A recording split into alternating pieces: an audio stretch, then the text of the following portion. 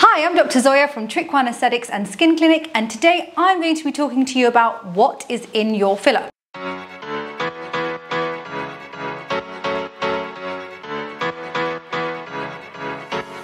So have you actually ever wondered what is in your dermal filler? So today I'm going to break down all the different types of filler and the one that is most commonly used and the safest.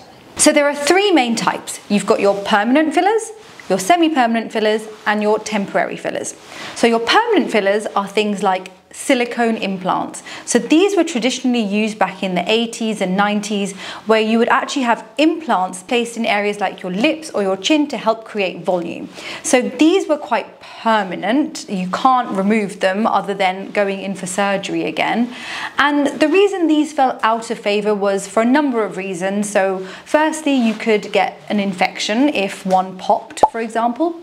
The second reason why they fell out of favor was because essentially as you're aging, say for example in your lip area and you have a silicone implant in there, your lip is losing volume, changing shape because of all the different changes going on in your facial structure. Your lips aren't going to sit the same. So that silicone will start looking a little bit off balance and look a lot more obvious in the face.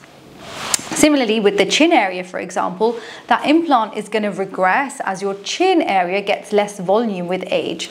And when you then start developing things like jowls, etc., proportionally, it will all start looking off balance. So now there's a very low number of people that get implants placed, especially silicone implants. So the next type are semi-permanent fillers. So these are things like PMMA, calcium hydroxyapatite, or PLLA. So these types of fillers are semi-permanent. So these fillers are injected into certain locations across the face and they will stay there like all types of fillers do, but you cannot dissolve them or reverse them. But what they do do, however, is gradually fade over time. And this can be anywhere between six months to two years. So if you didn't like the result or there was any sort of complication or trouble with the result, then you could be stuck with it for up to two years. Saying that, these types of fillers are really good at stimulating collagen and doing other things. So these fillers are now being used in different formulations for different indications. And then finally, we have our temporary fillers. So these are most commonly hyaluronic acid dermal fillers. So these are by far the most popular form of dermal filler treatment and are the safest. What is hyaluronic acid? Hyaluronic acid is essentially a sugar. It's what we call a polysaccharide. This is a technical chemistry term, but essentially what it is is long, long chains of hyaluronic acid that then curl up together like when you're eating spaghetti or something and they all mush up together and they form these natural bonds between them. So they're communicating with each other naturally and they form a connection and then they create a bit of structure, draw water and hydration towards them so they can lubricate areas, they can add moisture to areas, they can stimulate collagen and elastin in certain areas like the skin. In dermal fillers, hyaluronic acid has been made in a synthetic form and it has been formulated so that it can create structure. So you have chains of hyaluronic acid and those chains are then cross-linked with something called BDDE. This is a cross-linking agent and what this does is create structure in that hyaluronic acid. So the more BDDE that is in the chains or in the hyaluronic acid uh, composition, the stronger or thicker the product.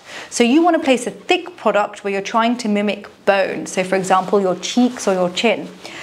For your lips, for example, they're a very soft area. So you want a filler that has very little BDDE, so it's very soft and thin, so it mimics more of your lip texture.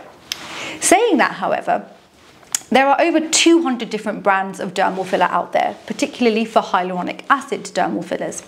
And I would say most of them are absolute trash. There's only probably maybe five brands that are actually very good, have the clinical evidence behind them and the robust chemistry that we're talking about. So when I spoke to you about what natural intrinsic hyaluronic acid is, so what we have uh, in our own bodies, that is made up of lots of long chains. So you want a dermal filler to be placed in your body that also has long chains. And not all brands do that. There are certain brands that have lots of short chains, so you want to steer away from that.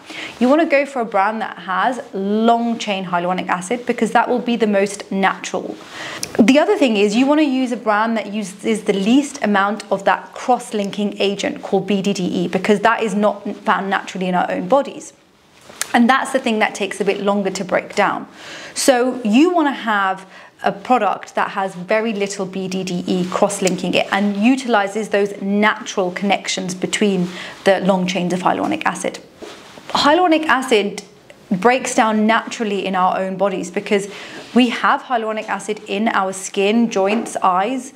So we have an intrinsic enzyme that slowly breaks it down over time. So the hyaluronic acid dermal filler that is placed in your skin or, or, or, down to bone will then also be broken down by that same enzyme over time. So you want to make sure that there's very little BDDE in your dermal filler. Thanks for watching. I hope you found that useful. I know it was quite detailed, but you know, if you really want to know what's in your filler, then that's the video to watch.